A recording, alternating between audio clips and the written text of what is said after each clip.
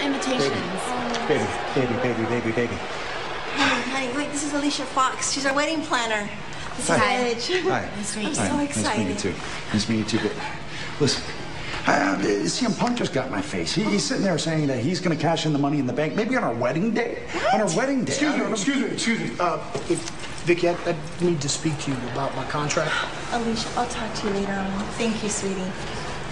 Yeah, I, you know, basically, uh, want to renegotiate my contract.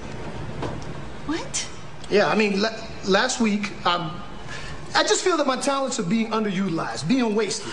Last week, I watched SmackDown from the Staples Center in the luxury skybox. I watched the entire show and saw that by far and away, I am the most talented individual on the entire SmackDown roster. Oh, roster. hold on a second. What do you mean most talented? Last time I checked, you you didn't have this. Oh, You're well, maybe world if I had an opportunity, No, I I just don't might think you become want that opportunity. No, I think No, I I do. don't think so. As a matter- Gentlemen, excuse me. Baby, it's okay.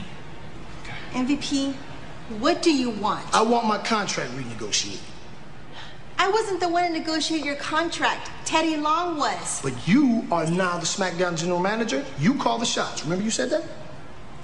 Okay, well, I could be inclined at looking at it for you, but I need a favor from you. A favor. What kind of a favor? Well, you see, CM Punk has been a thorn in Edge's side ever since he won Money in the Bank. So I need someone to take care of that problem tonight. All right. Okay, I, I can help, but just remember that when my agent calls you, and he will be calling you. Some people.